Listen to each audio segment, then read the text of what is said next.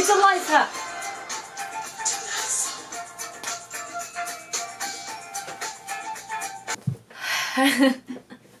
that was so unnecessary. Hi, you're still watching this video even after that incredibly pointless intro. Now I'm just tired and out of breath. then let me tell you about five simple things that you can do to make your artwork space better. Little disclaimer, you may already know some of these things or they may not apply to you, but I tried to pick some of the things that throughout the many years, the many, many years of me doing art, I have found to be pretty convenient, so I hope you will enjoy.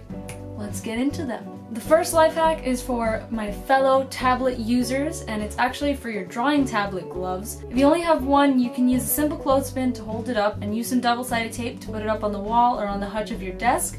This way, it doesn't take up unnecessary space on your desk and you're not throwing it around and it's falling on the floor and getting dirty, and you always know where they are when you need them. If you use more than one drawing tablet glove, you can actually get a bigger clip like this. I got this one from Target, and that way you can hold them all.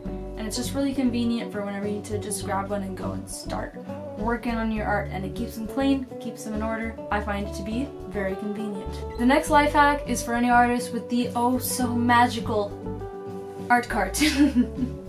Popular on uh, social media, and for some reason, a lot of artists have them. I have one too. They're incredibly convenient, nice way to store your things. And I found that I was getting really annoyed by just like how much tape I have and also I have a lot of ribbon and stuff like that so I needed a way to like kind of keep them organized but also not take up too much space in the art cart.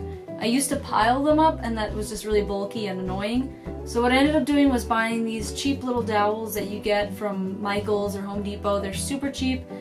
This is so much better than having them all piled up because that's just just takes up a lot of space and it gets really in the way.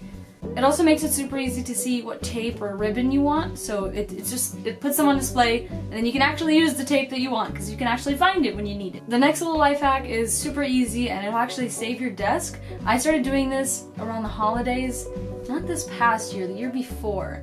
So what I did was I got plain wrapping paper with just like a really simple design, nothing festive for holidays or anything like that, just the simplest design that I could find. I taped the wrapping paper over my desk and just it's really it's really easy. It's just that that simple, and my desk has remained perfectly clean since I got it because I did this. So I put my paint like I paint over it, and I spilled orange juice on it because I'm a human being and I spill things sometimes. I also like to write little quotes on it. I think that's just a little cute thing that you can do and I can always mix it up whenever I change them. And changing them is actually the best part about this little life hack is that once it gets too dirty or covered in paint, you just simply remove it, throw it away, dispose of it as you wish, sell it, I don't really know, whatever you want to do, that's really your prerogative, you do what you want, and then you just put another one on it, and then boom. Amazing. You just you just saved your desk. Your desk is now safe, and that's that's not something that a lot of artists can say. Okay, I'm not sure if this one's 100% a life hack, and more so just like a this makes my life very convenient, which I guess is the definition of a life hack, so I'm including it here. It's a bit crazy, but this.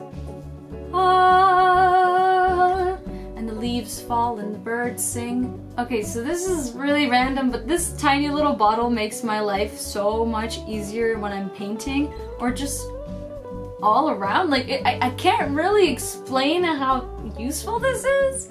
It, it comes from a set at Michael's. It's super cheap. It has like this little cap. And I use it to activate my gouache and my watercolor. And I also will put uh, water on my palette when I need to. Or if I have like a little jar for like dipping my brush in, like for cleaning it, I can just pour water from here so I don't have to get up and go to the sink and come back because we're artists. We're lazy. Productive. Smart. It's funny because it's relatable. And you might just say something like, use a water bottle or something, or get up and don't be lazy. And for the second one, I would say mind your own business. For the first one, I would say, yeah, you could use a water bottle, but this one is really convenient because you, you can basically put exactly the amount of water you want and you won't spill water all over your desk and break all of your things and mess up all of your artwork. I mean, I guess you technically could, but it's just easier to use, okay? Simple. Stop complaining. Why are you arguing with me? Probably not. Maybe you're agreeing with me. Maybe you already bought it. I don't know. Someone is arguing with me because this is the internet. Somebody is arguing with me. Alright, so the last life hack is a way to organize your sketchbooks. Sketchbooks are annoying. They're annoying to keep organized because there's a lot and they build up and there's too many things. It's too much. You don't want to throw it away because it's my art. I use these bins from places like Home Goods to store them upright and under my desk. It fits a lot of sketchbooks and makes it very easy to grab them when you need one. I'm gonna throw in a little bonus hack here and it's basically to just label your sketchbooks. Yeah, it seems obvious, but that doesn't mean everybody does it. So those are my life hacks. If you actually end up using any of them, send me a photo on Twitter or Instagram, and also follow my socials while you're at it for some more cool kid content. Thank you so much for watching.